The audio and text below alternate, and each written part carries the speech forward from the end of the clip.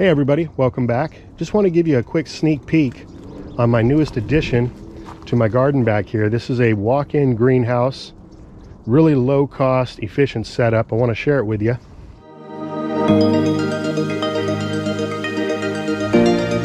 Let's just zip up the front door here. Now what I love about this greenhouse is that it comes with built-in shelving. Both sides have two shelves and although they're not super heavy duty, they'll have no problem holding small seedling trays and even four inch pots. Another great thing about this particular model, I put it all together in 15 minutes, no tools required. All the tubing just slips in to these connectors here, goes together very easily.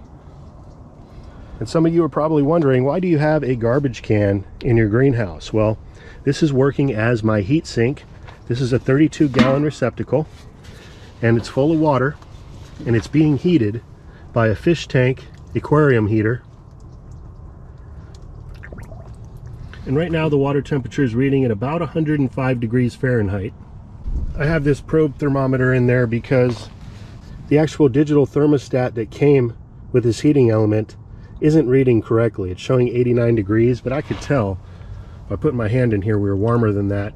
And sure enough, so not a deal breaker. There's lots of different manufacturers that make these heating elements. They all have their own little sets of quirks. And they make these heating elements in all different wattages. A 100 watt heating element will heat up between 10 and 25 gallons of water. A 200 watt 25 to 50 gallons. And a 300 watt 50 to 70 gallons. They even make them larger than that. But this heat sink is going to help to radiate heat throughout the evening, even when we dip down below freezing temperatures we'll be able to maintain a higher heat here in the greenhouse, keeping seedlings and small plants alive. Now I just have a loose fitting lid here on top that I flipped upside down so I could get it to be flat. This is also going to double as a seedling heat mat, taking up some of the heat from the container. And yet a third way I'm utilizing this in this build is I ran paracord from each corner of this design. So a crisscross shape. And they're going right under the water container here this is helping to pin the entire greenhouse to the ground. So when this is full of water, you're looking at around 200 pounds worth of weight. And I've got that paracord wrapped around multiple points on the framing system here. So this should work out just great. This is what the greenhouse came with to secure it. I wouldn't trust in this, but the paracord connected to the framing being held down by the container here, I'm good with that. There's also some tie-off points on each corner that you could utilize the little rope that they gave you to help to secure it further. And then this is really important. Around the edge of the greenhouse, there's a little extra flap of plastic. what I did is I sandwiched it between two pieces of cardboard and weighted it down with some cinder blocks. Here you can see the backside. This is so important because if you have gusts of wind come up underneath the cover, it can blow the whole unit away. Turns into a parachute. This is a quick and easy way to secure that cover to the frame. And it also has these tie-offs on different points where you can tie it directly to the frame as well. So I'm definitely going to be giving you many updates on how this system performs. I expect it to do very well based on other experiments that I put together very similar to this.